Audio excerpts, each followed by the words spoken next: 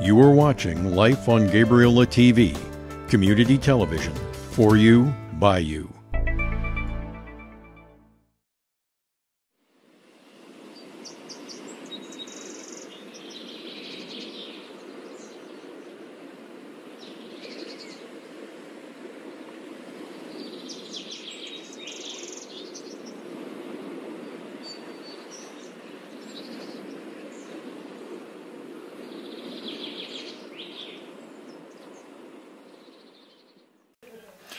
Sego Saboguego. Hello, my name is Lisa Webster. I'm a Ganageha Lenape woman living on the island settlerly known as Gabriola within Snuneymuxw territory.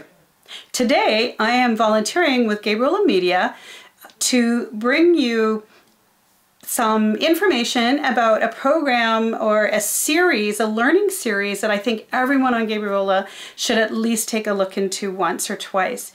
And this is online it is the Learning with Syeyutsus. It is the response to TRC 57 by the uh, Nanaimo Ladysmith Public School, um, Dis School District 68, I believe. And it is, it is a video series of um, authors and thought leaders, usually Indigenous, um, but not always, uh, individuals who come forward and just talk about what their research has been or what their books are about and really gives you a really good idea of uh, how um, some of the indigenous topics can be uh, spoken about, thought about, um, and just really good for increasing your knowledge of indigenous peoples uh, in British Columbia and in particular on Vancouver Island. I love this series. I have promoted it for as many people as I can. I just think it's a good jumping off point into uh, greater learning and greater knowing um, about um, it, the issues that are affecting uh, Indigenous uh, peoples in British Columbia, Indigenous peoples within Canada, and um, really helping to provide a different perspective. The episode that I would like to recommend for you today um, is uh, in season two. Um, the episode is uh, entitled To Share, Not Surrender Indigenous and Settler Visions of Treaty Making in the Colonies of Vancouver Island and British Columbia. And I'm recommending this particular video because this is a book that is being presented that is edited by quite a number of people. In the uh, uh, actual show, you'll see two of the authors, Peter Cook and Neil Vallance. And they are, um, Peter Cook is an associate professor of history at uh, University of, of Victoria. And Neil Vallance is an adjunct professor at law at the University of, Victoria. And they're providing a lot of um, ethno-historical research on the Vancouver Island treaties. Many people don't know that Vancouver Island and in particular Snuneymuxw have treaties called the Douglas Treaties. Um, really important that we understand and know what those treaties are, how they were made, what they were intended to do, and what the perspectives are from both the settler point of view, the government point of view, but also from, from the um, First Nation point of view. And in our case on Gabriola, Snuneymuxw. If you had been at the um, Gabriola Arts Council presentation, uh, Breaking Bannock Building Bridges, uh, guest um, counselor Bill Yoachim from Snuneymuxw mentioned and talked a lot about how the nation is really wanting to ensure that the rights that are protected under that treaty um, will be enacted and implemented. And so this particular um, uh, episode will give you a lot of that detail. And in particular, at the end of the um, author speaking, you'll have, um, I believe there's a half an hour of Chief Doug White III from Snuneymuxw speaking directly about the Snuneymuxw point of view on the Douglas treaties. And this is um, really a must watch and something for you to consider and learn a little bit more about um, as we proceed um, through the years and into the future. So enjoy.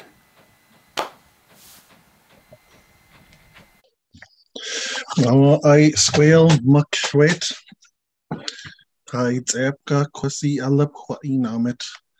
Welcoming everyone to the TRC 57 speaker series.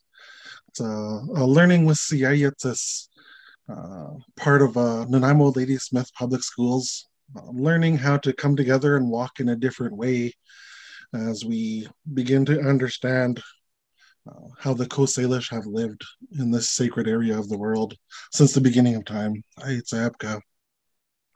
Anta Tamquatan Lawrence Tanashquitnita Mashnesne, and I am a Snow Snownawas relative walking with the school district.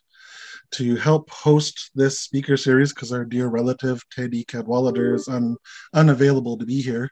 But uh, we have our dear relative Squeetha Tanat, as well as our three seat um, joining us to share on some important dialogue uh, to help us understand and gain some valuable knowledge on, on the treaties. Um, right now, I would like to open up with a prayer and share a song. Hai Tsepka.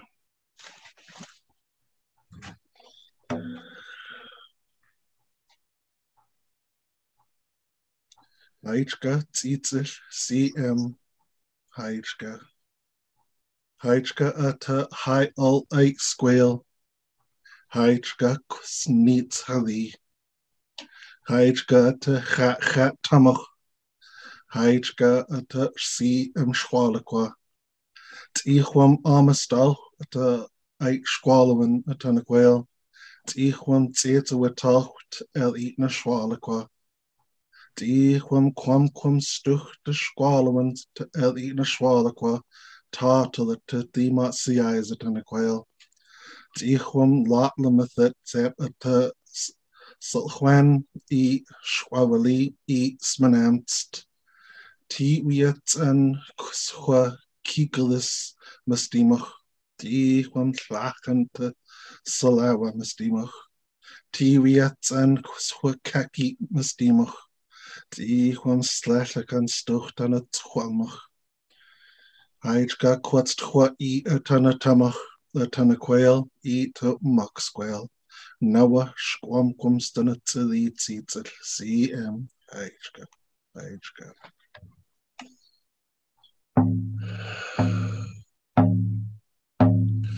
Oh.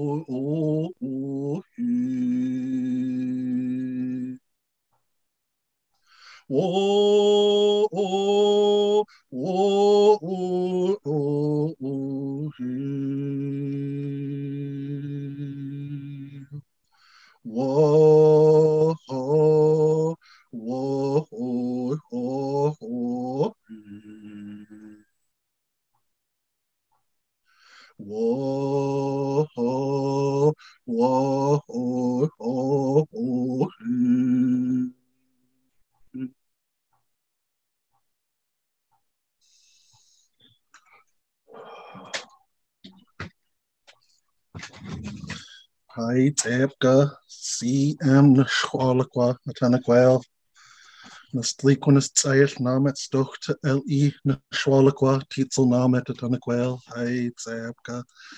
We really, want to acknowledge and thank each and every one of you for managing to get here today. We would really like to honor and acknowledge our Snutnawis relatives, our Snutnimuch, Schwalakwa, and our Stutninas Shwalakwa for all of the the beautiful work that is taking place in the school district and the lands that our schools are situated upon. Uh, we would like to also um, UBC Press and Carrie Kilmartin, who have joined with us in this journey and brought forward some amazing and beautiful people to help us as we journey through this uh, great understanding and learning that has been brought upon this district. Uh, we, would also like to share that if you go to um, trc57speakerseries.ca, you will be able to view the the previous speakers and the presentations that we've that have taken place, and you could also uh, purchase the books that are that have um, each one of our presenters have written books, and those books are available. And if you're able to use a they're giving us a 20% discount for anybody that um, would like to purchase those books. Uh, today, um, Nanu Tsayish Danashkwaluan, uh, really honorable and um, gratitude and my feelings for the, our relatives that have joined us here today to speak about the Vancouver Island treaties and to help us understand the broader context of what the uh, early Indigenous settler treaties uh, were all about and how it came to be in our, our uh, um, today's world called Canada. We have our dear relative Peter Cook, also Neil Vallance, and our CM Kwulasultun. And I believe somebody else just joined us. Is that Graham? Graham Brazier? Thank okay. you. so, um, Peter Cook has joined us from the Department of History at the University of Victoria in 2010, and his key focus is research and writing about the history of Indigenous settler relations in Eastern North America before 1850. He has a very particular focus on alliances and treaty making, and we are truly humbled to have you join us here today, my relative. And our dear relative Neil Vallance uh, although retired, he's had a long-standing career in property law in Victoria. And in 2016, he obtained his PhD from the Faculty of Law at the University of Victoria with a focus on the formation of the Douglas Treaties from 1850 to 1854. He is currently engaged in the ethnohistorical research on Vancouver Island treaty claims and occasionally teaches property law at the University of Victoria and our dear relative C.M. Kwulasultun uh, is a practicing lawyer who was called to the bar in 2008. He's been a, a remarkable individual that is advancing uh, the rights and the, the plight of our people for all across Canada. Uh, he's the co-chair of the BC Provincial Advisory Committee for Indigenous and Specialized Courts and Related Initiatives, the chair of the BC First Nations Justice Council, and the director of the Nanaimo Port Authority. He's also uh, been the HEWA and uh, on council of the Nanaimo First Nation. Uh, there are so many good things to share about our dear relative Kwulasultun, and uh, we are just touched in a really good place that you guys could all join us. And we look forward to anything and everything that you can share with us to help us open up our minds and hearts on the historical, um, the history of what has been going on in this area of the world. Um, we're, we're really humbled to be here and we thank each and every one of you for coming forward. I'm sorry, I don't know about Graham Brazier. I'm sorry, bro.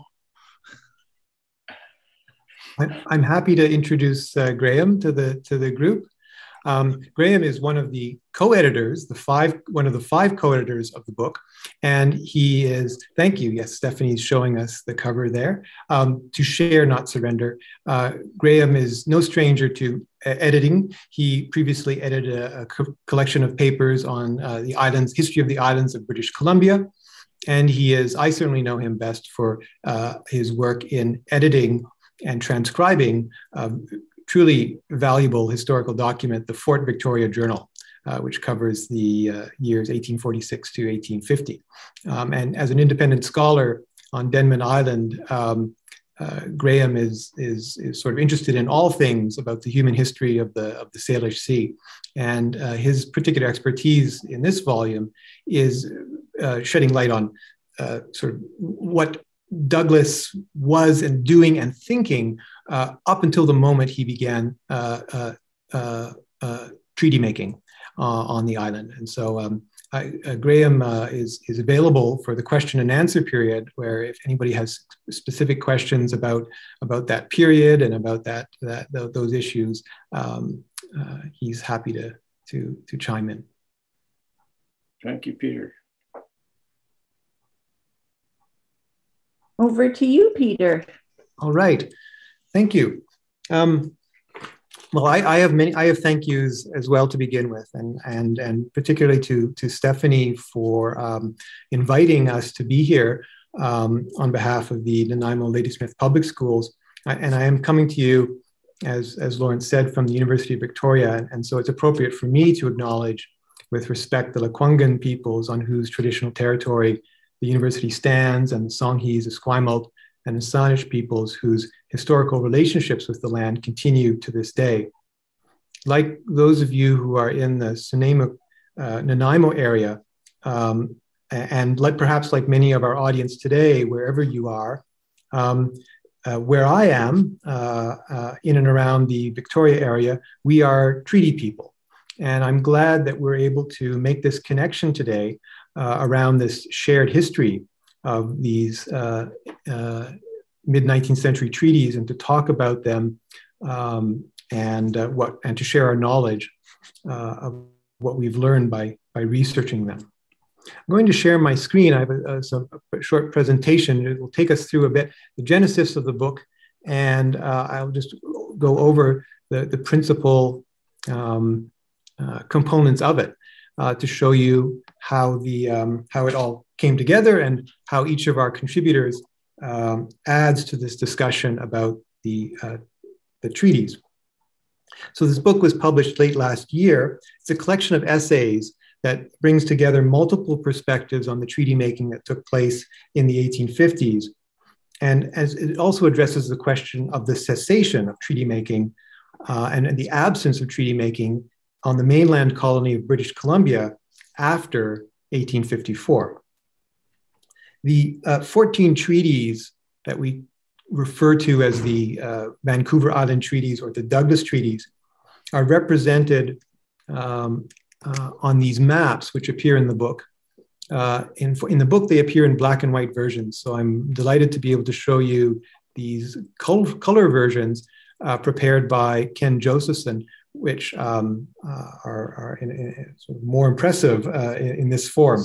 Um, the maps uh, give us a sense uh, of the, the kind of, uh, of the, the, regions, the areas of Vancouver Island uh, covered by these treaties, at least approximately, um, as they're described in the written texts preserved in the BC archives. Um, and it gives us a sense too of the rhythm of the treaty making process of the 1850s. So in the map on the, uh, on the right of the screen, you can see uh, uh, six treaties made in, in late April 1850, covering, uh, as, as far as we can tell from the written texts anyway, areas of a few square miles uh, on different parts of what is now the greater Victoria area. But basically, those six treaties collectively cover that, that, that urban area, what is now an urban area, up to uh, uh, PKOLS or Mount Douglas in the north and west. Uh, in the north, and then west about to the present day uh, location of View Royal. And then shortly thereafter, you can see that also in the spring of 1850, there were another three treaties covering somewhat larger areas further west. Uh, those of us in the in the region refer to these areas, this area today, as uh, places like Metchosin and Sooke. Uh, the following year, February 1851, you can see two treaties uh, in northern Vancouver Island, the, uh, where the uh, Hudson's Bay Company had established a post named Fort Rupert following the discovery of potentially valuable coal deposits there. Then we have another 12 month interval before two other treaties uh, from February 1852, this time covering the Saanich Peninsula. And then lastly, we have a treaty from December 1854. So again, uh, another period of uh, almost two years, uh, following reportedly difficult negotiations about lands around what is present day Nanaimo, where other coal deposits had aroused the interest of the Hudson's Bay Company. And the reason these treaties are significant is that um, they're certainly significant for people living in the area. But historically, in a sort of broader perspective, these were the only Indigenous settler treaties negotiated within the bounds of what is now British Columbia until the late 20th century. Uh, and here I'm skipping over Treaty 8 from 1899, which covered parts of what is now northeastern BC, but when that was a treaty in which the province was not involved. Um, but effectively, you know, this is a this is a period of treaty making that begins and then ends, and there's a very long hiatus before it begins again. The, the written texts of these 14 treaties have a curious history in that they languished in the records of the colonial state and then later the province. They were sort of categorized as land conveyances. And they were published, but otherwise uh, ignored by settler society. A BC Court of Appeal decision in 1964, however, upheld their status as treaties. And in the 50 years since that time, many observers have sought to understand this treaty making of 1850 to 1854, and in particular, the end of treaty making. There has been a definite aura of uncertainty surrounding this process. And on this question, uh, various writers have offered their views over the years. Um, and today, those views are scattered across uh, a number of books and monographs. One of the principal goals of our volume, To Share Not Surrender, is to uh, dispel some of those clouds of uncertainty. And we wanted to uh, collect review, critique existing arguments and interpretations, bring additional research and insights to bear on the question, and ultimately to offer a more expansive understanding of this history of treaty making and indeed the whole uh, broader range of dynamics of Indigenous settler relations during this, this pivotal period. Like many edited collections, uh, To Share Not Surrender has, has its origins in a conference and I'd just like to spend a minute to talk a bit about that conference and the way it shaped the creation of the book. Um, the four originators of the, uh, the conference, the idea of a conference, um, some of them are pictured here. They include Graham Brazier, Hamar Foster, Neil Vallance, and John Lutz, who is not in this photograph. Um, these are uh, folks who spent quite a bit of time um, uh, doing research in and about the era of the Douglas Treaties on a wide range of topics, including the treaties themselves, and uh, they were increasingly aware that much of this knowledge about the Douglas treaties uh, was scattered. Um, and indeed, not only across various uh, published works, but also in expert reports prepared in the context of litigation, for example. Uh, in other words, a kind of gray literature that was not readily uh, accessible to the general public. And so, uh, the initial impetus for the conference was to bring together uh, folks who had knew about the treaties uh, to share that knowledge and then ultimately to make this this uh, more easily available through some kind of uh, publication, perhaps conference proceedings or something like that. But as the organization for this conference went got underway, uh, the scope expanded considerably, and particularly through uh, the collaboration with Songhees Nation. Uh, Chief Ron Sam, who's a little bit out of focus on the left in this uh, picture was instrumental in, in bringing um, uh, his some important resources to bear on the whole the organization of this conference. Um, and so uh, going into the conference, we had an expanded conference committee, um, which um, included um, a number of folks that you'll see in the uh, um, uh, photographs coming up, but including uh, representatives from Songhees Nation, including John Rice Jr. and Cheryl Bryce. And so the conference became a bit larger as, as a result, and members of, uh, Vancouver Island Treaty Association joined us as well as, as audience, uh, as part of the audience. And so we ended up with a conference that was not just um, a group of uh, sort of scholars uh, um, um, from, from, uh, from academia, but rather uh, a, a, a, much more diverse um, series of speakers uh, and participants and an audience that was, as far as we can kind of tell, roughly split, split um, uh, 300 people in attendance, but roughly split equally between um, uh, indigenous folks and, and folks of settler descent. So um, uh, I'll just show a few photographs that show a bit about, that illustrate a bit how this conference unfolded.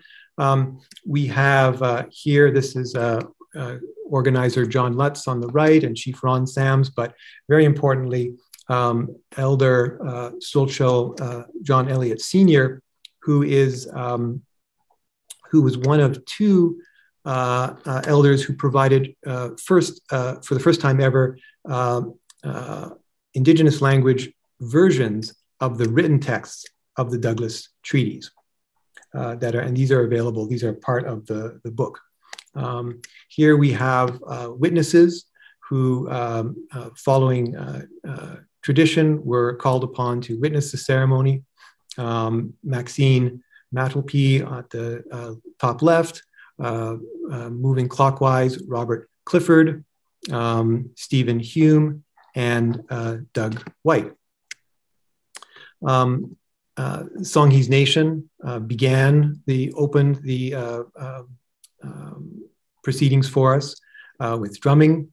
And we also had the um, uh, um, presentation of these translated versions of the treaties. So here in the front row, you can see, uh, again, Chief Ron Sam on the left.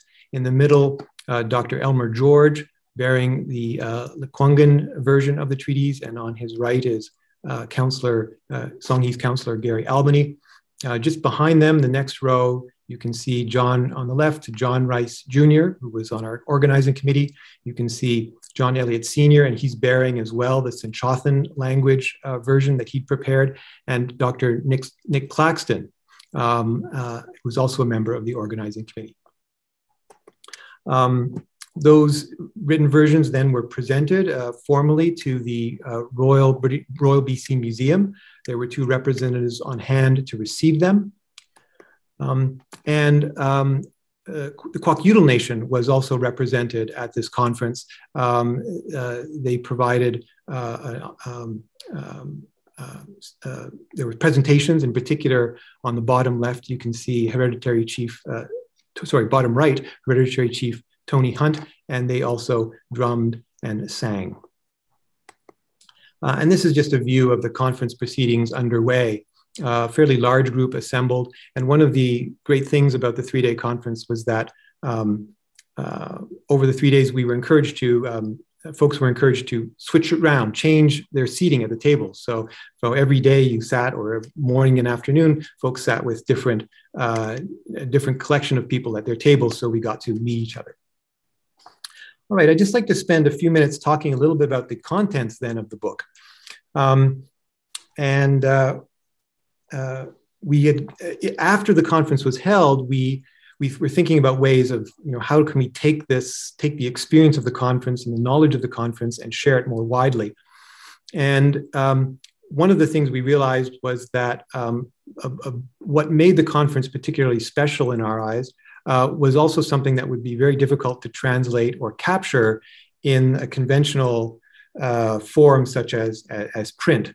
Um, in particular, the, the, the ceremony, uh, which was uh, on, uh, evident uh, at the conference does not uh, could not easily be rendered. Um, and so we chose that initially, at least, we decided that we would focus on um, uh, written contributions that could be shared in this kind of uh, traditional format. Um, and so we, we asked uh, for people who presented at the conference to share um, uh, or to offer their more formal written version of their comments. And we collected those and we, we decided that among those uh, offered, we would focus very specifically on this, this, this period of treaty making, the kind of historical perspective here. Um, and so those other elements, though, of the conference, um, which aren't well, particularly well represented in the book, though, uh, there is a place for you to get a sense of those. And one of them is at the, the, the website for the conference, which is still online. Um, uh, and uh, also an upcoming, uh, forthcoming publication, which will be uh, in collaboration with UBC Press in their Raven Space um, uh, platform, which uh, where um, if those of you who may have attended the uh, talk with Elsie Paul, her book has a Raven Space um, uh, is presented. There's a version of it available on Raven Space, which includes recording and audio, and so uh, we're looking forward to having that up eventually as well. But for this today, we'll just be talking about the book and its uh, and these written contributions. And they are divided into four parts. You can see uh, uh, the, we're looking at the table of contents here. The first part looks at kind of background or context to treaty making. Then there are uh, three papers focused on the treaties themselves. Um, and then finally, in part, or rather in part three, a pair of essays that examines the, the, the, the, the, the process uh, in, in detail. And then finally, in part four, papers that carry the story, uh, the sort of post 1854 story, onto the mainland colony of British Columbia, where uh, a process of reserve creation emerged that, uh, in, in some sense, seems to have uh, replaced treaty making. Um, uh, so uh, briefly, um, in the first part, we have an essay by Adele Perry, which it, explores the imperial worlds through which James Douglas moved, James Douglas being the chief factor of the Hudson's Bay Company at Fort Victoria and later governors of the Vancouver, governor of both the Vancouver Island Colony and the colony of British Columbia. And he was responsible, therefore, for treaty making and land policy. And so to understand Doug and to understand this history then in, in part involves understanding Douglas himself, and he looms very large in this story. Uh, his is the only name that appears on all 14 treaties. And he has, a very, of course, a very interesting history of being born in Guyana to a Scottish father and a Creole mother, his apprenticeship in the North American fur trade, his marriage to a Cree woman, and eventually a kind of a social ascent within uh, uh, the British uh, world to a, a governorship and a, and, a, and a knighthood. He moved through a range of cultural and social worlds, but all of which and this is where uh, Perry's emphasis is. These were all shaped in many ways. These different worlds he moved in were shaped by empire. Um, he was a complicated person in Perry's estimation. Uh, one of her uh, conclusions is that he shows in his writings a range of often conflicting ideas about indigenous peoples and where he, th- he thought they might fit in the imperial world that he did so much to create. His words were steeped in mid 19th century British racial knowledge.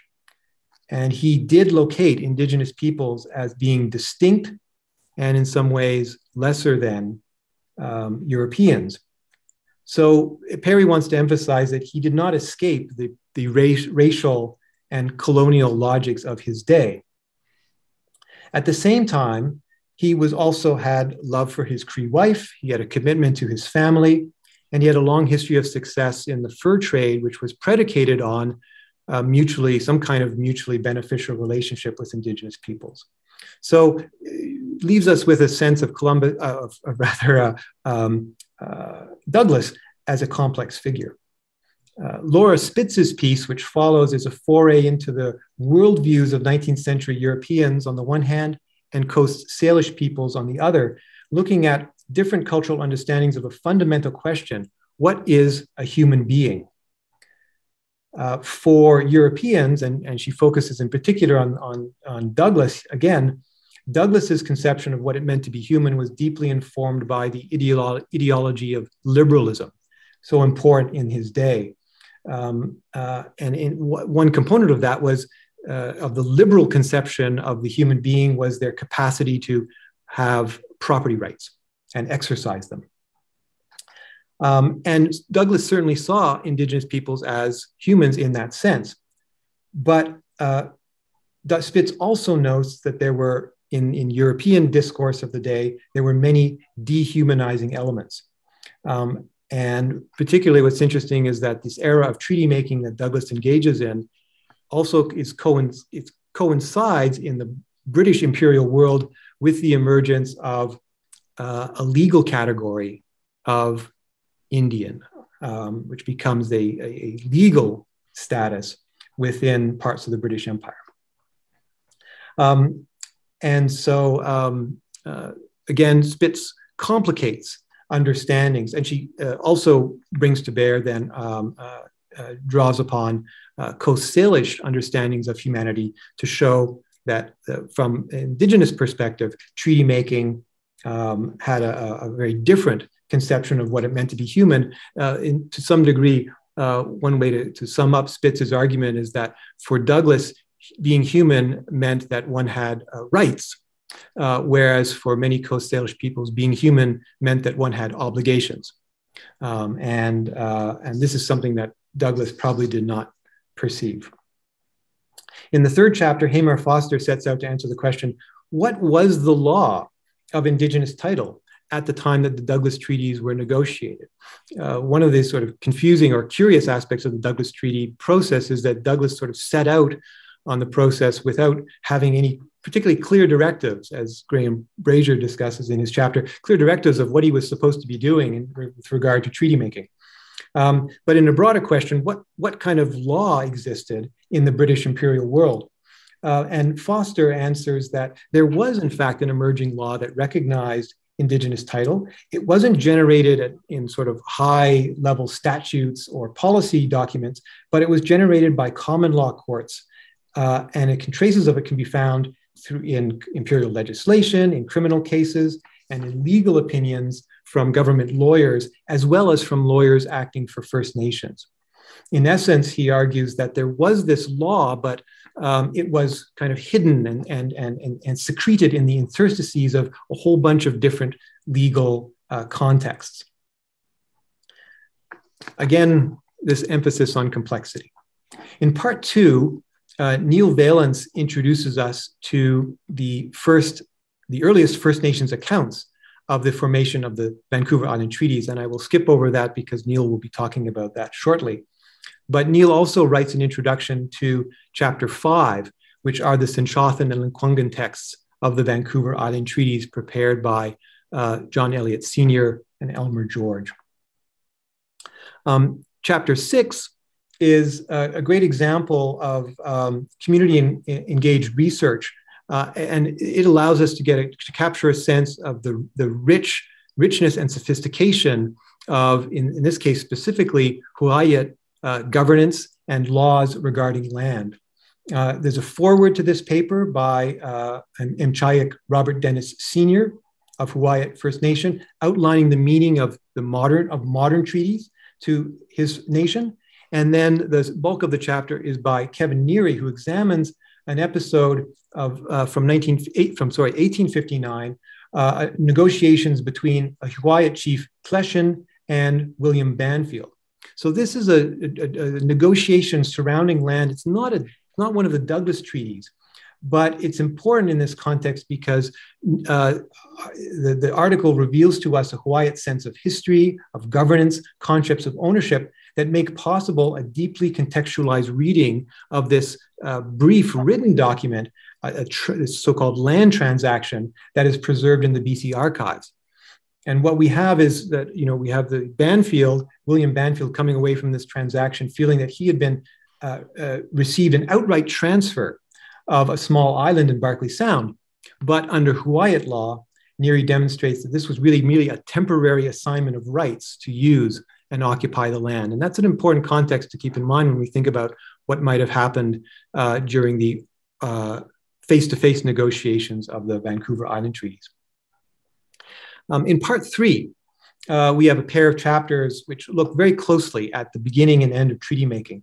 Graham Brazier looks at the beginning. He examines this backdrop to up to the point where Douglas began signing treaties. Um, Brazier emphasizes that Douglas had sympathy with Indigenous peoples. He was concerned for their well-being in the in the in the uh, colony. Um, and his fur trade, but but also notes that his fur trade background made it difficult for him to embrace the notion, or at least fully embrace the notion of Aboriginal title. Um, in many ways, Brazier argues that for Douglas, land policy and treaty making was a kind of afterthought. Um, uh, it wasn't a, a major uh, priority for him. Um, and, and that explains, may explain in part why Douglas ceased making treaties because the process became difficult. Um, John Lutz uh, builds on this, uh, somewhat taking a different view. He emphasizes that uh, whether or not it, maybe Douglas hadn't, didn't begin with treat, treaties as a priority, but certainly through the process, Douglas seems to have uh, come to the conclusion that treaties were important. And um, uh, Lutz, John Lutz, uh, points out that his Douglas and his successor in office, as well as the settlers represented in the Legislative Assembly, the Colonial Office in London, uh, colonial newspapers such as the British Colonist uh, or in Victoria, uh, and First Nations on Vancouver Island all wanted treaties through the 1850s and into the 1860s. So why then did Douglas stop making treaties in 1854?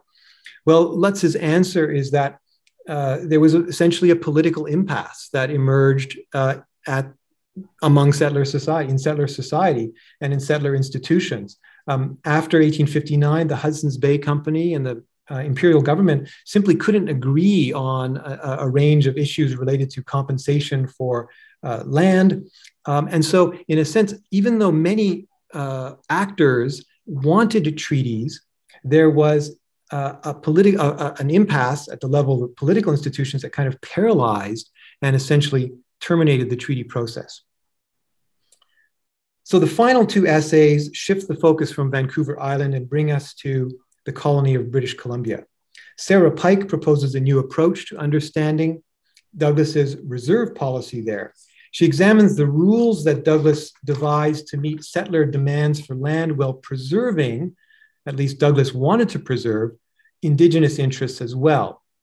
The focal point of these rules that Douglas uh, developed was this idea of preemption which was modeled on a practice used in Oregon uh, to the south. And this was a region Douglas was familiar with from his 20 years stationed at Fort Vancouver on the north shore of the Columbia River.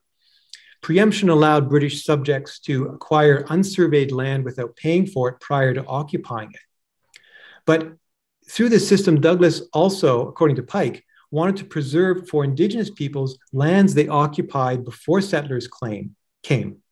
In Pike's estimation, Douglas did not really stop making treaties so much as he intended to pause the process temporarily while awaiting a resolution to this political impasse that Lutz describes. Douglas, she argues, was convinced that preemption was a practical solution to the problem of settler demand. He, but she also emphasizes that he understood that treaty making was also the principled solution. It's just that he didn't see a way of making it uh, continue. Pike sees Douglas as committed to what he called the civil and agrarian rights of First Nations. And those terms sound very strange to us. But essentially, they recognize uh, a, a concept of political and also land rights. What Douglas did not foresee, of course, was that his temporary solution would in fact become the permanent one. In other words, preemption would continue in British Columbia until 1970, whereas treaty, makings, far, treaty making, far from being put on pause, was effectively uh, shunted aside by settler, by the colonial state um, um, after 1854. And the final essay by uh, Keith Carlson invites a different perspective on James Douglas. Uh, Carlson uses a major gathering of First Nations hosted by Douglas just before he retired in 1864 as a way to introduce his an analysis of the ways Douglas combined this commitment to an emerging liberal and Christian order, very ethnocentric, but also his commitment to preserving and in place uh, a place for indigenous people in that new order. With all its faults, and definitely was a faulted vision, for all its faults, it was nonetheless, and this is these are Carlson's words, something that indigenous people then regarded as workable and preferable to what replaced it in the years following Douglas's retirement. But Douglas's particular vision caused significant anxiety among the needs to the needs, uh, uh, sorry, increasing anxiety among uh, settlers who regarded him as too sympathetic to the needs and interests of the colony's first peoples. So that's a brief overview of the book um, and its contents. And I'd like to turn things over to Neil now uh, for uh, uh, greater attention to um, uh, uh, aspect that I hitherto hasn't discussed, which is, of course, First Nations perspectives on those treaties.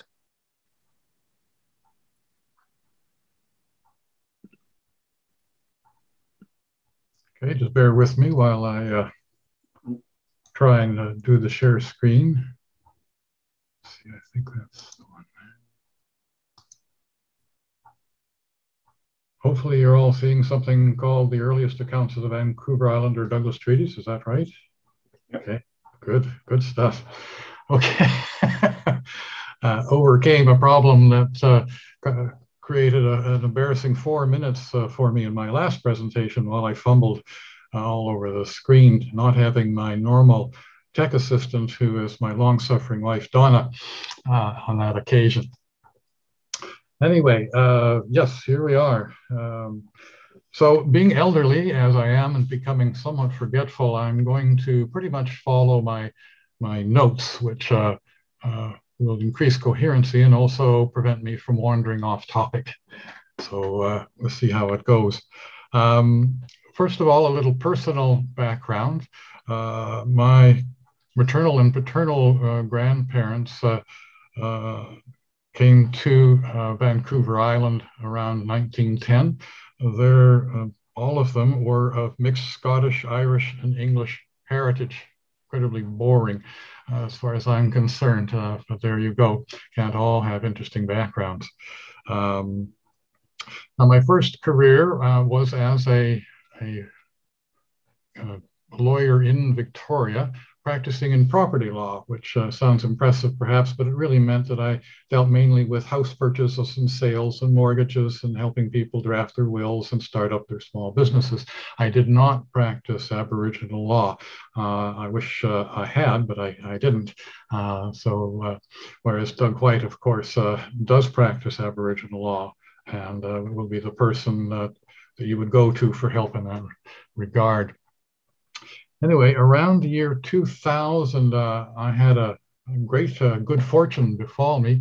Uh, I was pretty tired of being a, uh, a solicitor and uh, was ready for a change. And a friend offered me the opportunity uh, to become a contract researcher preparing ethno-historical reports on First Nation land claims.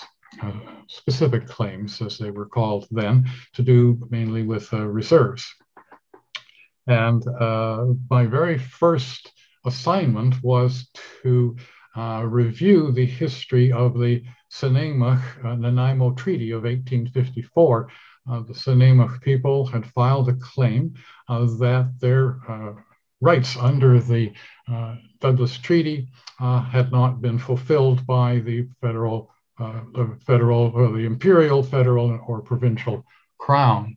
and I immediately became fascinated. I had never heard of the, the, the so-called Douglas treaties before then. Um, I quickly decided that I didn't like uh, calling them the Douglas treaties because they gave that gave undue emphasis to only to one side of the agreement and uh, ignored the fact that it's a, an agreement with uh, two parties, and that is the First Nations as well as uh, Douglas on behalf of the Hudson's Bay Company on behalf of, uh, of Britain. Um, and as I did research on it, uh, I, on these claims, I became aware of uh, some uh, early First Nation accounts uh, of the treaty meetings, and they utterly fascinated me, and they were very powerful, um, but they were not, at that point, has not been included in any uh, research reports on, on claims. So, so that I realized that I needed to, felt a very strong urge that I needed to collect these uh, accounts and uh, research them and critique them and uh, hopefully make them available uh, again. These uh, accounts had been made in the early 20th century uh, by elderly First Nations people who were desperate to get their point of view across to the settler society. and these efforts, though, were completely ignored. Uh, and so that I really felt my mission uh, was to to gather them together and to present them back again to the settler uh, population, this time uh, with the hope that they would be prepared to listen. Anyway, that's what got me into the PhD program up at UVic in 2010, uh, where it was sort of started out with every anything anybody could ever want to know about these treaties, but it, it sort of gradually narrowed down to the uh, deceptively simple question of, well, what were the terms of the treaties? Uh, that uh, took me 365 scintillating pages to, uh, to answer. Um, and I think that uh, there are basically two kinds of accounts. Uh, there are the set, the colonial accounts of what happened and the First Nation accounts. And today I'd like to try and uh, do two things. One is to unsettle or problematize the colonial accounts of the uh, treaties and what they mean, and to foreground the merits of the uh, subsequent First Nation accounts of what happened uh, at these treaty meetings and what was the outcome of, of these meetings. So that at the end, I hope you will be in a position to make up your own mind as to the relative merits of the two sets of narratives uh, that attempt to define what uh, the, the true nature of the treaties are. So first, a little bit of background on the uh, colonial account. In order to cement its sovereignty north of the 49th parallel and to thwart any American expansionist ambitions, Britain created the colony of Vancouver Island in 1849. Now, rather than go to the trouble of setting up a typical formal colonial establishment and sending out a bureaucracy to administer it, Britain came up with a novel idea of granting title to the entire island to the Hudson's Bay Company for a period of 10 years, during which the company was supposed to encourage colonization, thus reinforcing Britain's claim to the idea. So, a pretty clever, low cost way of uh, uh, achieving an imperial ambition. So the Hudson's Bay Company was given jurisdiction over the survey and sale of land uh, to anticipated settlers. And this task was delegated by the head, the Hudson's Bay Company uh, had its headquarters in London, to its man on the spot, Chief Factor James Douglas. Now, the 1849 grant can be seen as a kind of land sale on a giant scale, leading to subsequent subgrants or sales to colonists once they started to arrive. However, before the progress began, Douglas was instructed by his superiors in London to remove any possibility that the local First Nations might assert any residual claims to the land. This was deemed advisable, not so much as a legal necessity, but as a precautionary measure uh, to make sure that nothing interfered with the process of settling, selling land to settlers who would want to be assured that any potential Indian land claims had been cleared away. So, to achieve this, uh, Douglas called a series of meetings in 1850 with the leaders of several First Nations in the Victoria area, with the goal of buying up their entire territory in exchange for some blankets and a promise to set aside their village sites and to allow them to continue hunting and fishing as long as it did not interfere with the needs of white settlers. Now, Douglas could not speak the local Lekwungen or Halkomelem languages, and the First Nations could not speak English. Neither had any understanding of the laws of the other concerning the occupation and use of land. In spite of that, Douglas reported to his bosses in London that he had succeeded in his assigned task. How did he manage that? Um, the short answer is that his report to London did not actually reflect the terms agreed upon orally at the treaty meetings. That's a pretty strong assertion for me to make, but I think I have the evidence to back it up. Peter, I'm just going to confirm is your PowerPoint needing to move forward? Oh, yes, there it is. Perfect. Yeah. So, uh, although the first one lasts quite a while, but it's a good question to ask. Um, so that uh, anyway, that is the second one is uh, a view of uh, Fort Victoria as it was in the 1840s, and then across the harbor to the Songhees village, those series of longhouses there. So that just paints a, a lovely picture of where these meetings took place in 1850. So the uh, First Nations would have arrived uh, at the meeting place unaware of Douglas's corporate agenda, but undoubtedly with an agenda of their own, although its contents are not known. No minutes of the treaty meetings were kept. None of the words spoke by Douglas or the First Nation representatives or his interpreter were recorded. So the, the interpreter was an amazing fellow called Tomo Antoine. He was a gifted linguist and uh, understood English and Halkomelem and uh, Lekwungen. Uh, and he must have faced a, a daunting task on the one, one hand, uh, conveying the intent of his master, uh, James Douglas, as to what uh, was transpiring uh, to First Nations, and then in turn translating back to Douglas uh, what, what was said by the First Nations in response. And that it's amazing that there was any sort of agreement at all reached given the, the cultural and linguistic gap between the parties, but I think there was an agreement. And uh, that uh, will become more clear as I deal with the First Nation accounts. So that the, um, just a bit of background here, that the treaty meeting making process, of course, had been underway for a considerable period of time in what is now Canada uh, starting geographically and chronologically in the Atlantic provinces with uh, some treaties there in the 18th century, which were uh, typically called peace and uh, goodwill treaties, but modern research uh, has indicated that they were actually about land and who had the right to occupy the land. Then later in the 18th century into the 20th or 19th century, there were a series of treaties uh, in on what is now Ontario. And uh, they started to involve uh, cessions of land on the part of the, the First Nations. And then uh, third period in the uh, latter part of the 19th century, the so-called numbered treaties moved from Ontario across the prairie provinces and up into the north. And those were categorized by the, the government of Canada as cession treaties and uh, uh, purported to extinguish the uh, First Nation interest to all of their territories, not just parts of their territory, but ceding everything.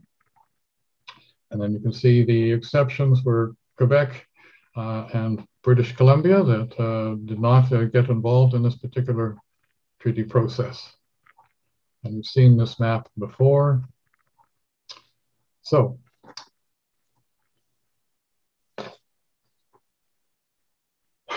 this uh, document here is what we're going to talk about next. Um, this is uh, at the end of the, the meetings that Douglas had in 1850 with First Nation representatives. Uh, he wrote a letter back to his superiors in London uh, in May of, of that year, shortly after the meetings, a long reporting letter. And in the last paragraph of his letter, uh, he's made a surprising disclosure, quote, I attach the signature of the native chiefs and others who subscribed the deed of purchase to a blank sheet on which will be copied the contract or deed of conveyance as soon as we receive a proper form, which I beg may be sent out by return of post, unquote. So just to be clear, the treaty document at this point consisted of a list of names uh, with X's beside each name. Space was left above the list for the addition of text at a later date. That's all there was taken away from the treaty meetings by way of a written document. Now, Douglas wrote this letter to the superiors in London. They, they uh, hunted around and uh, came up with a template, and that it was largely based. Um, I guess I cut that out. Um, it was largely based on a precedent used in a New Zealand land transaction in 1848 between the Ngai Tahu Maori people and the New Zealand Company on behalf of the British Crown.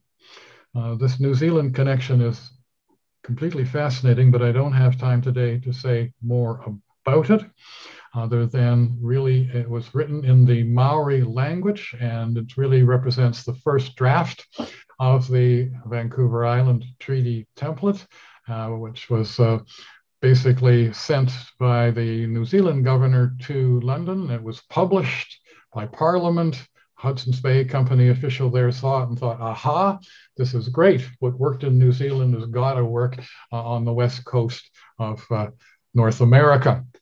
Uh, and so that uh, he went ahead and uh, uh, sent off this template, made some changes to, to it, but not too many. Um, and Douglas, when he received it, he filled in the uh, with a template with the name of the relevant tribe or family, a description of the boundaries, the price paid. The final step in this unique process was for Douglas to copy the completed texts of the treaties onto the spaces left for that purpose at the top of each sheet of paper above the list of names. So you can see there's that same list of names, uh, but now it has this template filled in and added to it after the fact, many months after the meetings, because obviously uh, postal uh, mail to England took three months to go to England and three months to come back again. So that uh, the letter that enclosed the template uh, from the Hudson's Bay Company said this is a form of agreement for purchase of land from the natives of uh, for uh, from natives of Vancouver Island, a copy with hardly any alterations to the agreement adopted by the New Zealand company in their transactions of a similar kind with the natives there.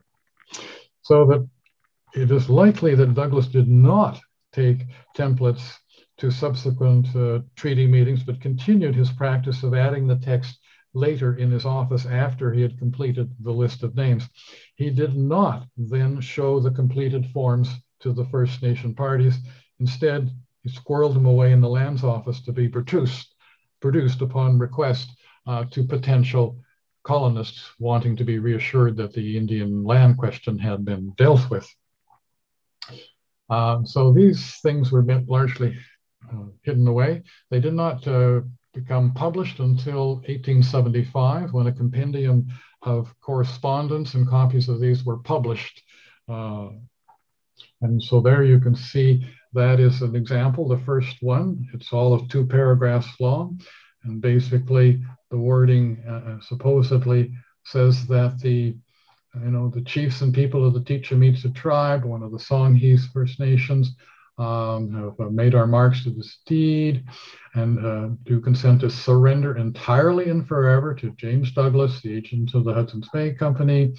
Uh, and it describes the land that was included on the condition that our village sites and closed fields are to be kept for our own use, for the use of our children, for those who may have to follow after us, and the land shall be properly surveyed hereafter.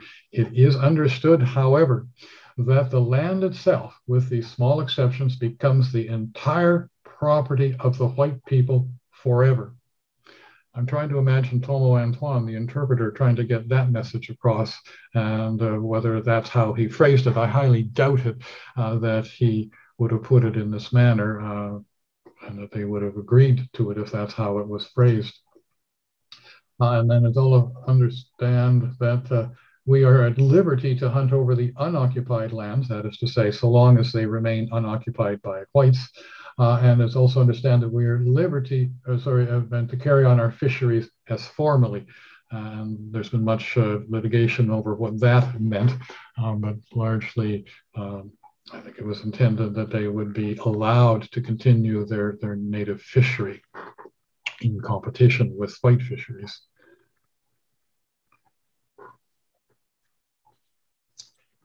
Now, tucked away in the archival records are examples of First Nation spokespeople attempting to explain their understanding of the treaties to non First Nation audiences.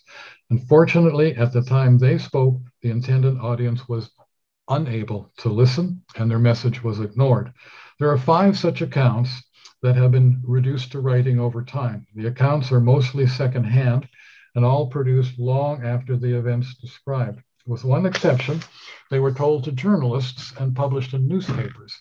As a result, they have received little attention from scholars or the courts. However, they represent the earliest extant First Nation accounts of what transpired. Therefore, they cannot be discarded out of hand, and every effort has to be made to identify the insights they are capable of providing. For reasons of time, I can present only excerpts from the accounts of Snuneymuxw elder Dick Waucom and Saanich chief David Latasse. Now, the slide here is the Snuneymuxw village, uh, which is in the site of the present day parking lot of the Harbor Park Shopping Center, if you want to locate it. Um, so that uh, now the account of the 1854 Nanaimo Treaty, the last one, uh, by Snuneymuxw elder Dick Waucom is contained in the transcript of his testimony before the McKenna McBride Commission on Indian Affairs in British Columbia in 1913. Waucom testified at a commission meeting that he was 83 years old, which meant that he was 24 when the treaty was concluded. His name is among the 159 names uh, listed on the written version of the Nanaimo Treaty, and his account is the only one by a First Nation sig signatory to a Vancouver Island Treaty. It's incredibly important. So Waucom, speaking through a translator, recalled his meeting with, with Douglas. Uh, and the first part I'll read from my notes, and then there's a second part on the screen. So Waucom, speaking through a translator, recalled his meeting with James Douglas. I want to tell you people, I was amongst the first people who found coal in Nanaimo. Two months later, Sir James Douglas himself came over to see where the coal was. Sir James Douglas said, I will buy this coal. But he also said, I will not buy anything but the coal. All the wood and land is yours. The land where the coal is, is yours. And the land up the river, the Nanaimo River, is yours. The promise that Sir James Douglas made with us is being broken. We are being pushed off our land. They are now stopping the Indians from cutting the wood and from taking the fish. After that statement, Waucom was cross examined under oath by the commissioners. Commissioner McKenna, what do your people want today? Waucom. What we want is to get the land back or to get some settlement. And there we are to this very day. where the Snuneymuxw people want to get their land back or to get some settlement. So this was an issue right from the very beginning. McKenna, you say that you and some other Indians brought down spurs to Victoria and also coal. Before that time, were there no white men here? Waucom. No, there were no white men before that. McKenna. Then afterwards, Sir James Douglas came out. Oh, yes. McKenna. And you made treaty with Sir James. Answer. Yes. He said, quote, the land is yours, unquote. So a fairly strong, a very strong uh, point of view expressed then by him. Waucom was clear that Douglas asked only for permission to take the coal, not their land. According to Waucom, Douglas had promised that the Snuneymuxw could keep their land and would continue to harvest the resources of the land and ocean without interference. His statement is important because it directly addresses the issue of the terms of the treaty, with the First Nation version provided by an eyewitness under oath. Waucom acknowledged the fact of a treaty to arrange for the sale of coal, but steadfastly denied that it was intended to authorize the indiscriminate occupation of their land by whites. Now, this slide shows Sir James Douglas in his uh, gubernatorial finery, and on the right, uh, the uh, ceremonial uh, garb of Chief David Latasse uh, Saanich. His account was in 1934. Uh, he claimed at that time to be 105 years old and an eyewitness to the 1852 Saanich Treaty meetings. The archival record does not support his claim, thus his account is likely secondhand. Nevertheless, his important contribution to the search for the oral terms of the Vancouver Island treaties is a lifetime spent listening and talking with knowledgeable people knowledgeable about the treaties absorbing information from many sources along the way and expressing his views as they evolved over the years. In other words, rather than an eyewitness, he was the first student of the Vancouver Island treaties. Now, time is running on, so I'm going to cut things short uh, and not uh, deal with uh, David Latasse's words. And really then just skip to the summary uh, that I came to after review of the five accounts, uh, and that they uh, are remarkable in their continuity as to the uh, their understanding of what uh, the First Nations came away from the meetings. Um, the Vancouver Island treaties likely included the following terms: compensation for land already occupied and resources previously harvested by non-First Nation residents, continuation of the terms of their existing joint occupation and enjoyment of land and resources, and agreement to negotiate expansion of non-First Nation establishments and activities, provided it did not interfere with the existing way of life of the First Nations. In sum, the First Nations negotiated with James Douglas an agreement to share, not surrender, the land and its resources. And I will leave it at that. Thank you very much. I think it's over to uh, to Doug White. I'll uh, see if I can stop sharing my screen there. Hey, thank you. Uh, Siam na siaya, pek Kwulasultun tani snuneymuxw. Ain't the pek clishan tani hoopa chasit. Ait na squalo and quanas e haitsepka haitsepka siam mistimo. Uh, good afternoon, everyone. My name is Doug White uh, from the Snuneymuxw First Nation here in the Nanaimo. I really want to thank my cousin Lawrence for his opening words and uh, opening prayer for us today. Thanks Stephanie and the others uh, from the organizing committee, this, this particular speaker series for the invitation to jump on to the important work and discussion presentation that Peter and Graham and Neil uh, have put, put together for today. Um, Stephanie and I, uh, we've known each other all through our lives. And so uh, we ran into each other and she said, we're doing a talk about the Douglas treaties. It's going to be, you know, it's here in Nanaimo. It would be good if you could share a few words. And so I'm very happy to do that. I'm honored to be asked to uh, speak with such a, esteemed scholars. Um, this is a, one of the most important stories in our province, in our country, uh, the story of these particular treaties and uh, the progression and the the arc that they've been on over the last hundred and whatever it is 60 70 years it's truly amazing uh, the issues that uh, the crown and indigenous peoples were grappling with back then are the same issues we continue to grapple with today in BC. Even the economy, the, very structure of the economy that BC continues to wish for, it hasn't changed. Can you imagine that? You know, the, the there was a very good description from Peter at the beginning about the location of the treaties and why why in these locations and you know coal mining was the driving factor. The the colony was desperate for an economic foundation for itself. It needed somewhere to settle, and therefore the Victoria area treaties, and it needed some kind of an economy to sustain itself, and therefore the uh, uh, part of the world treaties, and then ultimately the Snuneymuxw Treaty, the final one. Uh, but I, have always, I was on a, a, BC AFN economic development panel uh, maybe three or four years ago. And uh, one of the heads of the BC Mining Association, whose name escapes me right now, he, he was giving a talk and talking about how, you know, in this moment of, uh, of, of, the Tsilhqot'in Nation decision and uh, about Aboriginal title and this and that, we've never been here before. And it's going to be hard work to figure out how, how we sort out these issues in mining in this province uh, because we've never been there before. And I had to, I was the chair of that session. And so I had to correct him. And I said, in fact, we have been there before.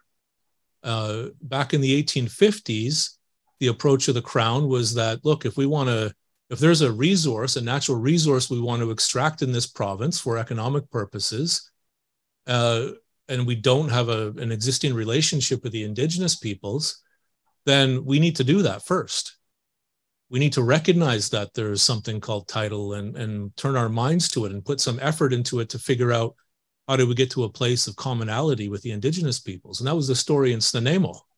We agreed that we would sell coal to James Douglas and his crew. Um, I've always found it to be an utterly ludicrous proposition that uh, we sold, my ancestors sold our territory to some characters that showed up on a boat uh, for a stack of blankets. That's the most ridiculous uh, proposition I've ever heard. Um, but you know, we we had a discussion. The the it's important for everyone to know that the actual substance of the treaty, the terms of the treaty, it's not in the text of the treaty um, alone. It's not in the oral history alone. It's in you know as a as a matter of law, the clear approach is to try to determine what is the shared and common understanding between the parties about what they did. And can we do that? Um, so a remarkable history. I really appreciate the, the great scholarship of Peter and Graham and uh, Neil that they've done. Uh, when I was the, I, so I was the chief of Snuneymuxw going back to 2009. And I had grown up in uh, a family. My my my father was a counselor, Doug White the second. His father, Doug White the first, was chief of Snuneymuxw during the White and Bob litigation. It was his cousin Clifford White was the um, was was the accused there that had been convicted and et cetera in the story that led to White and Bob and uh, David Bob from Snaw-naw-as was the other person. They were out hunting in the summer of 63 up in the southern slopes of Mount Benson and been uh, charged for hunting deer out of season. And so, I, you know, we know about these stories in our community. We've always known about the treaty relationship. Um, it's, a, a very, as a matter of the history of the practice of law and access to access to justice matters for indigenous peoples and all of this. We all know the story of the Indian Act prohibiting First Nations from hiring lawyers from 1927 to 51. Uh, but by the 60s, uh, you know, the, there was a great failure of the legal system for Clifford and David when they were standing up uh, from the prisoner's box in downtown Nanaimo at the Nanaimo courthouse in front of Magistrate Beevor-Potts. And um, uh, the lawyers, they I think they went through, I think there was two or three different lawyers that abandoned them that summer. They were assigned and somehow they were supposed to be the lawyers. Lawyers, oh, you know what, judge, I'm asking permission to withdraw from this. I can't get any meaningful instructions from these people. And then there was this issue of is the Indian agent going to come and speak from Cowichan? Or is he going to come and talk and say, does he have something to say about this? Because what happened on, so they were hunting July 7th or, yeah, 7th. July 8th, they were in front of the magistrate and their answer, he said, well, what do you guys say to this charge? Clifford stood up and said, My answer to this charge is that he called it a treaty of peace. There's a treaty of peace between our people that allows us to hunt in the way we were hunting. And so that was uh, him standing up based on his knowledge from his community, his family, his people about what permits him, what's the legal framework within which he goes hunting to feed his family and to feed his community. Um, by September, uh, Magistrate Beevor-Potts had gotten tired of all of the, the delays and um, they he asked them then, so do you guys have something to say or not? Do you have evidence? Like, do you have anything to say for yourself? And they said, in fact, we do. And we want Joe Elliott from Cowichan, one of the uh, one of the major Coast Salish historians. He was like a historian of the Coast Salish people. We want him to come and talk. And so he was the, the judge, after arguing about this, allowed him to come forward.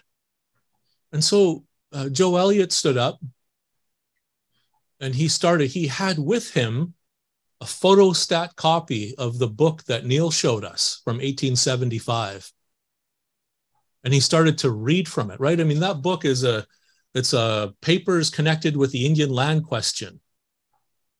And the whole opening segment of that book is a restatement of the texts of the Douglas treaties held down in the BC archives. So he started to read. It was he was reading from the. This is what it says about the Snuneymuxw. This is what the it talks about their hunting rights. And the judge just shut him right down, shut it, turned it off, and said, you know what? I'm going to stop you right there. Everyone in this province knows that there was never treaties made here. So I don't know what nonsense you're talking about. And that's it. I'm convicting you, Clifford. Um, and David, you're convicted. And he and he fined them, and they weren't able to pay the fines, and Clifford White ended up in jail. But so when Tom Berger got involved, Maisie Hurley brought Tom Berger in. He was just, you see the pictures of Tom, he looks like a teenager. He's so young. And that great man, one of the great Canadian jurists in Canadian history, he just passed away last year, Tom Berger. But he was brought in for the first time to deal with and grapple with Indigenous issues. This was his introduction uh, to Indigenous uh, conflict with the Crown. I remember having coffee with him years ago. I sat down at his, he had an office at the Marine Building in Vancouver, and we were having coffee downstairs. And I said, because what's remarkable when you read the uh, Court of Appeal decision, by the time they got up there and, and, and the other decisions, I said, it's remarkable what you guys did in that case. How is it that you effectively argued everything that we've continued to argue all through the last half century? You know, because their, their first line of argument was that the document is a treaty. Because why? Because, you know, it's 1963.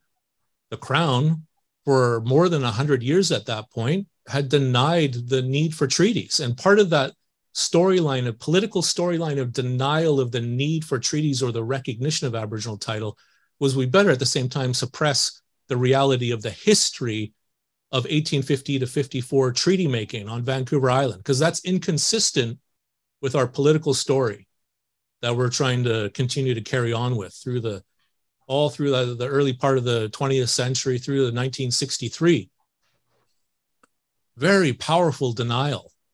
And um, and this is where the work of these scholars is so important.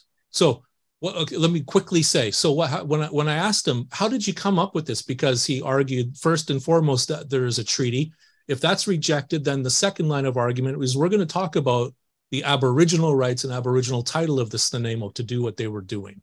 So you choose which one you want to grapple with. Ultimately, they won on the treaty pro, on the treaty arguments, of course. But I said, where did that come from? How did you arrive from Vancouver? You know, criminal defense lawyer in Vancouver doing random like, where did all of this come from? How did you put all this forward? And he said, well, I came to Snuneymuxw. I sat down with the elders and they told me the story of these treaties. I'd never heard about a word about these before. Magistrate Beevor-Potts, who'd practiced as a lawyer and sat on the bench, he'd never heard a word about these treaties before. And so he went down to Victoria and went and dug around. He went and he, he got a hold of people like Willard Ireland, the provincial archivist, and Wilson Duff, the provincial anthropologist. And he went, you know, he found the documents that Neil is talking about, this, you know, this ledger of land conveyances that Douglas had, had stuffed away in, in whatever government office and ultimately ended up in the BC archives. He said, we need to get this in as evidence. And so, notwithstanding that the elders have this story and an oral history about what this treaty is and what it means, we need to get the text of the document in. Because I don't think any Canadian judge is going to be listening to elders yammer about the oral history of this or that in the 1960s. So, but if there's a written document, then maybe somebody will listen to it. And so the way to get the document is, is have the provincial archivist bring it in as and submit it as evidence, put in as evidence. It was like it was like exhibit number eight or something of the of the defense, and there it is. It's in. Now, remarkable to me that when I, you know, show so they win, right? They go up to the BC, the Supreme Court of Canada by 1965 confirms the BC Court of Appeal decision, and we've and and and it up overturns and upends the whole crown narrative of the fact that there was never treaties and whatever these things were they were not treaties. They were some kind of land purchase thing. Unbelievable that we had to do that like a ba- basic fact of history argument. And um so you know i so i hear about all this history from my grandfather from my father my family my community cousins all that kind of stuff and uh i go to law school to you know go to law school learn about the rule of law and all these beautiful concepts and ideas right in the Quebec secession reference. You read what the Supreme Court of Canada says about what are the most cherished and fundamental legal values and principles that hold what we call Canada together. One of the pillars of that is the rule of law.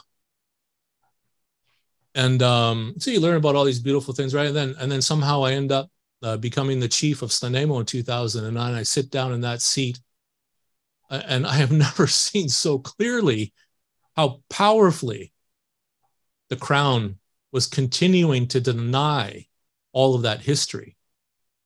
They were denying still that a treaty had been made in 1854 with my people. They were effectively denying that the Snuneymuxw had gone to the Supreme Court of Canada in 1965 and had won recognition of those rights in that treaty.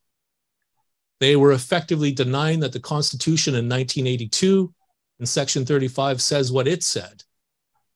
Like the capacity for denial, stunning and shocking. And so when when I was advocating as a chief of Snuneymuxw to try to figure out how do we work to implement, like what, what you know, we're, we're like a large nation. We're well situated in an urban context, but oh my God, we're dirt poor, basically flat broke, none of our own money. Nothing. The smallest, little, tiniest little Indian reserves that exist in this country. 267 hectares of land, most of which goes underwater every winter when the tide comes up and there's a big rain, a flood. You go compare that to Osoyoos who has 32,000 acres of reserve land, right, and four or 500 members. The Snuneymuxw has suffered structural poverty, dispossession. And so when we sat down as a government, we said, look, we need to better have a quick talk here. And when I showed up with my council and I see I need advice, direction, we need to have a discussion how to get out of this mess because I am not here as the chief to administer poverty for my people. I'm not here to hand out band-aids. I need to know right now how are we going to change and transform this basic reality. And when we looked at everything, you know all we have is a is a is a pop stand and a chip stand that's what our economic development was you know and, and then we would lease a little bit of land to the mill on the south end of the i mean holy man what a mess. What a disgraceful situation.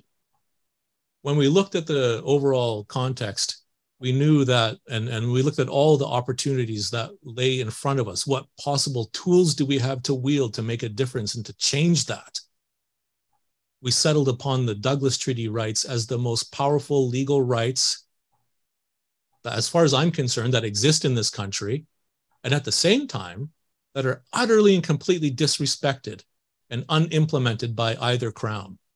Unbelievable, but nonetheless, very powerful tools. So we began to deploy them.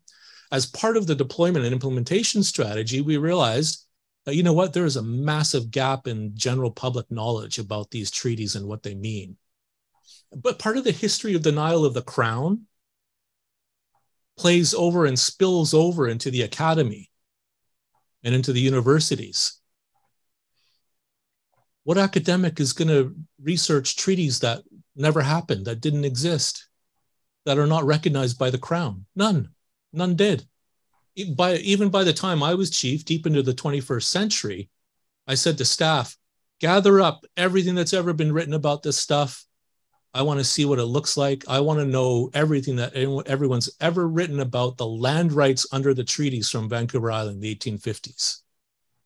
I want to know what anyone's ever written about the fisheries rights, the hunting rights. I'm telling you, it was a very thin set of documents that Peter talked about. Lots of sort of this stuff that is obscure and hidden in litigation and etc.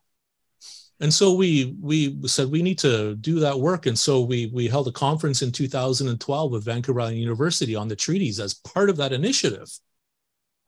And John Lutz, who worked with these fellows, he reached out to me. What we had, and one of the other things we did is we set up the now defunded Center for Pre-Confederation Treaties and Reconciliation at VIU to bring attention to to you know what what the TRC said so powerfully about the education system in this country. They said much of what is wrong in this country, the responsibility for that rests at the feet of the education system of Canada, both for what it taught Canadians and for what it didn't teach Canadians, for the omissions, what was left out in people's general education that you would get as a Canadian. And so the the absolutely essential and important work of focusing attention and bringing attention to these things through the con- the 2012 conference. And then John Lutz reached out 2014 to talk to me about you know about doing a second conference. Unfortunately my son my beautiful boy Willem uh, ended up with cancer that year. And so I had to tell John look we can't co-host at the center in Nanaimo. I'm utterly I'm not here anymore I'm just dealing and focused on my boy and his health. And so John, you know, the he pivoted to the wonderful Songhees people and all of the people that have been described. And um, this is such important work, the gathering up of people to talk. I know that it was, I was there, I, I went to the conference. I was called as a witness and I watched, and it was like two worlds slowly trying to figure each other out the academics over here doing their academic some of them were really kind of in their academic conferencing mode and then the half the room was indigenous peoples from the treaty areas and they were going what are those people talking about? We don't know what are they are they speaking english? You know we talk about chinook and trying to translate between two worlds is like what is going on? And it, it created you know tension or whatever. People stood up and talked and that's fine, right? I mean, that's how it's going to be until we continue to talk and work through.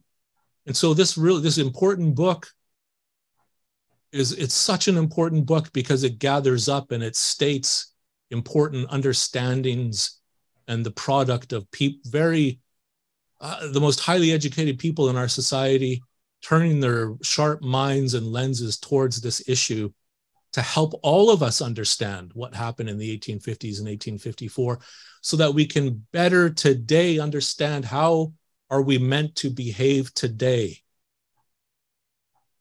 so that we're not carrying on with the nonsense of the last 150 years but that we're living up to what is the best version of who we can be together. There's no way that any people should ever be subject to having to litigate for basic rights in, in the way that indigenous peoples have for so long now. So it's up to Canadians and British Columbians, people who live on Vancouver Island, to inform themselves about this and to help shape that different future. And with the work that these people have done, the Songhees people with them, the Kwakwaka'wakw speaking peoples with them, uh, they're helping us, right? They're lifting us up. They're opening our eyes and they're shining light and they're and they're creating the understanding that is the essential material that can lead towards meaningful reconciliation because we can't be reconciled if we don't understand each other if we're not talking the same language if we're not working together to have meaningful dialogues to help us understand who each other is and who collectively we should be together in a respectful relationship premised on recognition, respect, mutuality. So, with that, I want to really thank uh, you for the opportunity um, uh, to share a few thoughts about this important work. Peter, Neil, Graham, Stephanie, Lawrence, and everyone that's here, and everyone that listens to this talk. This is such a important and essential knowledge to be shared. And so I'm grateful that people have put time and effort into this because we're backfilling a major omission from the last 150 years of our history together. We're creating a new uh, solid foundation upon which we can stand. So Haitsepka Siamistimo, Haitsepka, really thank you very much. Thank you so much, you guys. Thank you.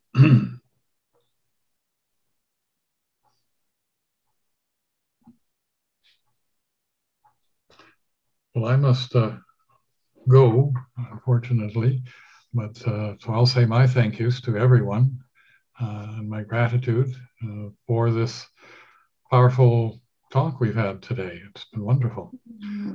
So uh, with that, I will have to take my leave and uh, become a grandfather for a few hours. So. Thank you, Neil. Thank you, Neil. Over to you, Lawrence. Nanu Queet Stuch Tanatzelish Atanaquel.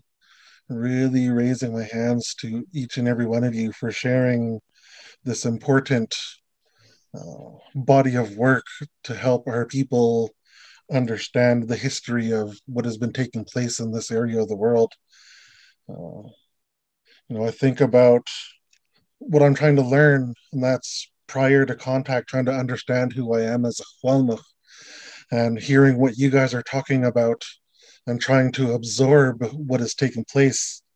Uh, I have a lot of learning that I need to do, and I really thank you for helping me uh, understand who I am as a man, as a Coast Salish person, and how I can uh, begin to understand more on how I can share this in a beautiful way and help shape the minds and the ideas and the imagination of today's youth. And I'm thankful for that. Uh, hearing you speak Kwulasultun mm-hmm. really takes me to a deeper place inside myself and wants me to become more than I already am. And I left that out in when I was talking about your biography and your history, that you know, you're you're a role model to me and I thank you. And I, I always look forward to hearing you. And you know, I'm trying to hold back the tears because what you speak so eloquently um, is everything that I want to be as a person. So I thank you for helping me become that. You know, I'm taking my baby steps and learning what it means to be a Coast Salish man, a father, a grandson, a cousin. Um, and I'm made more by just hearing you and being in your presence. Graham and Peter and Neil, we are truly honored that you guys were able to join us and share share this meaningful work that has been taking place and it's beautiful I, we really raise our hands with our, our most acknowledge, acknowledgeable and grateful hearts that the work that you've conducted and continue to produce helping shape our country is beautiful. And we acknowledge all of your hard work and everything that you've had to endeavor into to bring this to the light and share this light with everybody that needs to hear it and understand it and absorb. So uh, we really thank the Nanaimo Ladysmith Public Schools and uh, everybody that is journeying with us. It's such an important body of work that we've we've listened to today. You know, uh, I really need to go through that book and begin to understand more in my own journey. And I encourage each and every one of you to uh, take a look at that website, trc57series.ca, and learn about everything that we are trying to bring forward for the, the people in this district. And worldwide, there have been people across the waters in Europe and down south that have been joining us in this journey. And it's a beautiful journey. And I really thank uh, School District 68 for changing the narrative and including our people in the um, education of today's youth. It is it is a complete honor. Tia stucht eli na shwalakwa at uh, kach siais titzel named thanking each and every one of you for the work that you've done that got us to where we're at today. Heights epka, CM shwalakwa, Heights epka. Mm. Heights CM. Thank you, Doug. Thank you, Peter. Thank you, Graham. Thank you all. If you'd like to watch some of these episodes, please reach out to the VIRL, the Vancouver Island Regional Library Facebook page, or go direct to the um, session's website at www.trc57speakerseries.ca. Thank you. Noah.